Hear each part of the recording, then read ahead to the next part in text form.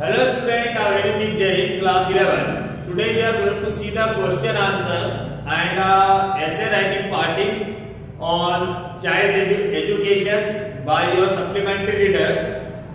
There is one chapter that is Ranga's marriage. The question answer depict the highlight on the English language. So today we will discuss the short composition articles on a given page. It will help you to make the question answer format. So Ranga's marriage. See, this is your supplementary reader snapshot class 11. Uh, explanation part is complete. Okay. Now today the short composition of four questions. Last question and second last, third and fourth we will discuss. Yes. English class 11. Chapter's name Ranga's marriage. Ranga's marriage. Question answers. Okay. Who is the author? The author is must be Venkatesha Iyengar. Authors. Write the author's name.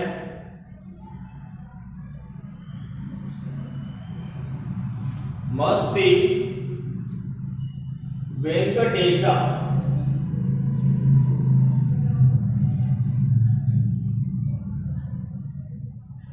The author. Now, see here, question plus answers.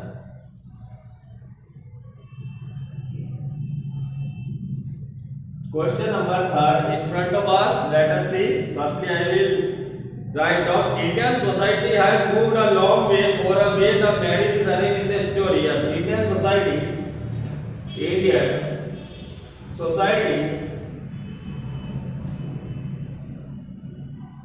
has moved along way from the from the way the marriage command Yes, question number third. Indian society has moved a long way from the way the. Indian society, our India, people are living in a village. So in this story, Ranga's marriage is also depicting the illiteracy. The girl's child is not get the education properly. It is also a evil of society. By the lesson Ranga's marriage, Ranga is a boy who is gone for study and came after six years he does not leave the cultures, he has respect for elders. So Indian society, the author put a light on evil and he give the message that every child has the rights to get proper educations. Okay, so this is our first answer. Question number four. What kind? What kind of person